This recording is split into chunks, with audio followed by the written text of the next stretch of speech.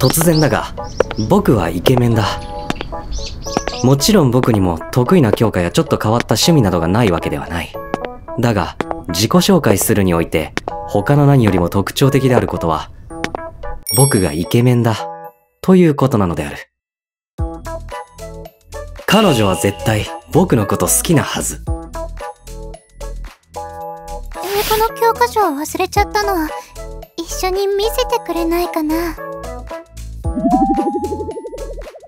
ああ、いいよ。よかった。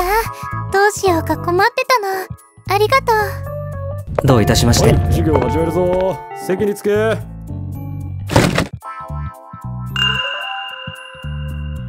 隣の席の中来さん。おっとりした雰囲気の女子で、クラスの癒し的存在だ。困ってたの、か。教科書を忘れて困っていたという発言のように聞こえるが、別の解釈もできる。教科書を見せてほしいと頼むことに気遅れしていたのではないか。何しろ僕はイケメンだからな。声をかけるのに躊躇してしまうことは当然のこと。なんて、考えすぎかな。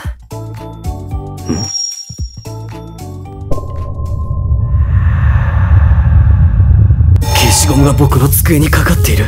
私物を異性の領域に触れさせる行為。嫌悪感があっては決してできないこと。いや、むしろ、むしろ行為。やっぱり中来さん、僕のことが好き？好きなのこれイケメンの僕が隣の席では恋に落ちてしまうのも無理からぬこと。だが待て、早合点かもしれない。不用意に消しゴムを置くなんてよくあることじゃないか。何か確信が持てる手がかりは、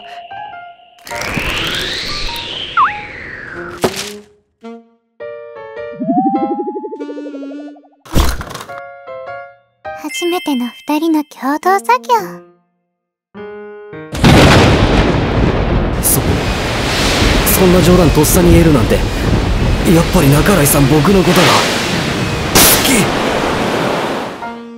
きあんなスキアピ度の高い冗談普通言えるか僕のように冷静な人間じゃなかったら放課後入籍しに行ってるぞ。危ない危ない。だが、これで確信は持てた。中来さんは僕のことが好き。ということは今、彼女が求めているシチュエーションは、これか。ページをめくろうとするときの、偶然のボディタッチ。乙女が恥じらいながら潜在一遇のチャンスにかけているんだ。ここは甘んじて誘いに乗ってあげようじゃないか。かといって、わざとらしくなってはいけない。極めて自然に、一連の動きの中で。さあ、いつでも来い。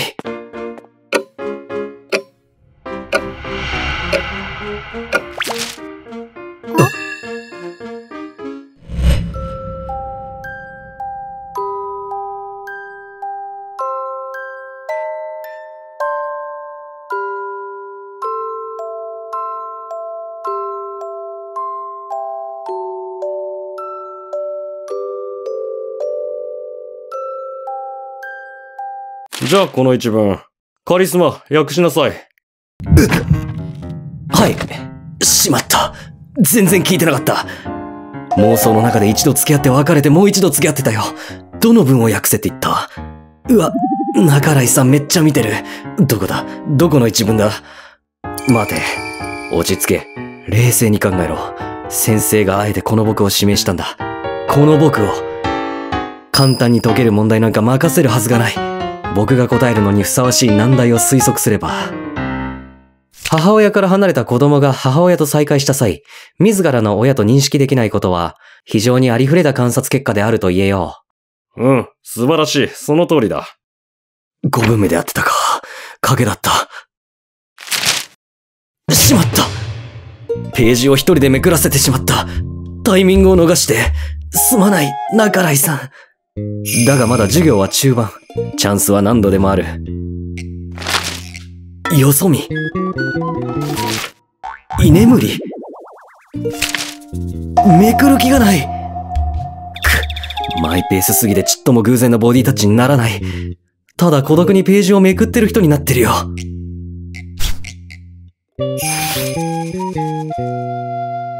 あ。え、いけない。僕の方が照れでどうする？でも、おかしいな。中来さん全然ページめくりに来ないじゃないか。僕の手に触れたくないのだろうか。イケメンなのに？僕のこと好きなんじゃないのか？まさか、ただの勘違いだったなんてことは。あれ？あそこにあるのは中来さんの消しゴム？ってことは、こっちの、こっちの消しゴムは、僕のだ。不用意に置いてた僕の消しゴムだった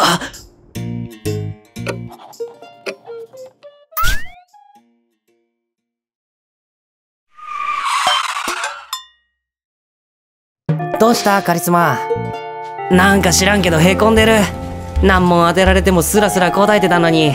いつも思うけど謎なやつあ、次数学だよな。やっべえ。俺教科書忘れちゃったんだ。他のクラスの友達に借りてくれば？おお、頭いい。いやいや忘れたら普通そうするだろわざわざ隣に見せてもらう人少なくね？何？え、いや、なんでも。改めて言うが、僕はイケメンだ。だが、まだ女子と付き合ったことはない。ネル登録お願いします。